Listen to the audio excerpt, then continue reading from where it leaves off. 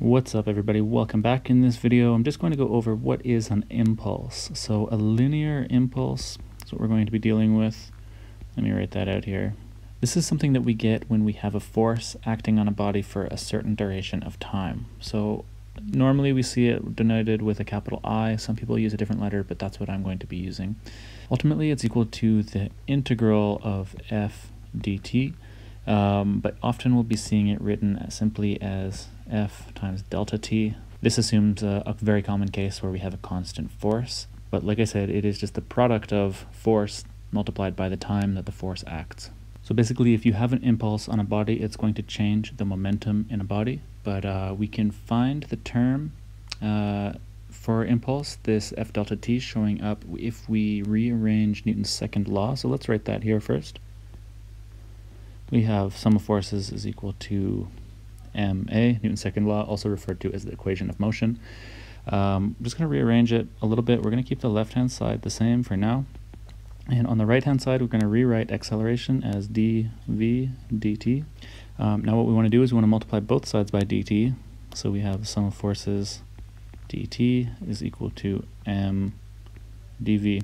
And just like the last video, we integrate both sides. We have the sum of forces dt is equal to the integral of m dv.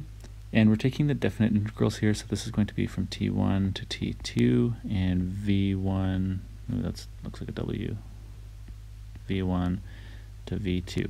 Um, it is important to mention that v1 is equal to velocity at t1, and v2 is equal to velocity at t2.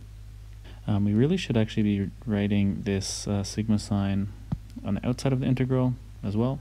And if the force is constant throughout the integration, then we can actually bring it outside the integral as well. So we have the sum of forces times the integral from t1 to t2 dt.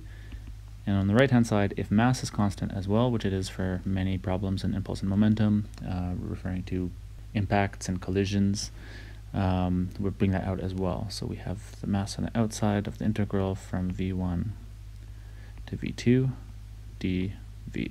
So these become very simple integrations. On the left-hand side, we just get the sum of forces times t2 minus t1. And on the right-hand side, we get mass times v2 minus v1. So we can rewrite T2 minus T1 as just delta T. It's the change in time equal to mass times the change in velocity. Or what I like to do is I distribute the m across. So we have m v2 minus m v1. And really what we've written here is the left-hand side. This is impulse, or impulses because of the sigma sign, if there's more than one, is equal to the change in momentum. So actually I'll just specify that's the sum of our impulses is equal to the change in momentum of our system.